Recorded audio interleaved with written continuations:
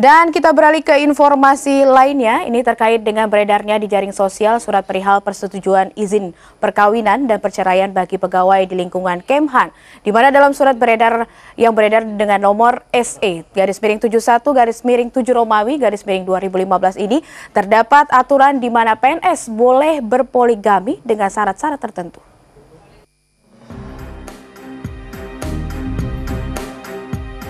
Beredar kabar di dunia maya bahwa Kementerian Pertahanan menerbitkan surat edaran bernomor SE 71 garis miring 7 garis miring 2015. Surat ini mengizinkan pegawai negeri sipil PNS di bawah naungan Kementerian Pertahanan untuk berpoligami selama memenuhi syarat-syarat tertentu. Di dalam surat yang berjudul Persetujuan Izin Perkawinan dan Perceraian bagi pegawai di lingkungan Kemhan ini juga terdapat sejumlah pemaparan rinci soal syarat-syarat PNS pria untuk berpoligami. Kalau saya pribadi sih nggak setuju ya Mbak ya. Kenapa emangnya? Soalnya kasihan juga sih dari pihak perempuannya. Lagian juga baiknya sih pernikahan satu kali seumur hidup ya. Gitu. Ya boleh, setuju. Kenapa tuh Pak? Kalau emang adil kenapa enggak?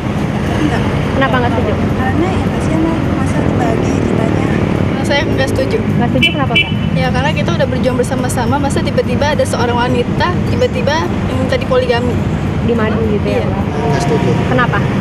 Ya, yang pertama itu kasihan istrinya, Kedua, kedua itu anaknya yang kasihan. biar yang Iya. Berarti nggak setuju ya? Enggak. Meski telah beredar luas, namun surat izin poligami ini dibantah oleh Menteri Pertahanan RI Ria Mizard Riyakudu. Itu saya tidak pernah ngomong gitu, Pak. ada menterinya pak Oh, Pak, Pak. Saya Bagaimana? tidak pernah ngomong begitu. Siapa itu? Ya, yang bentul aja kah? Ngawur aja. Tidak pernah ada itu. Tidak pernah ada. Tidak Ngawur pernah ada ya eda- edaran. Tidak ada edaran. Tidak ada edaran. Pasti tidak ada edaran. Tidak pernah. Tidak pernah. Negeri TNI tidak boleh kawin dua. Ya. Tim Liputan MNC Media, Jakarta.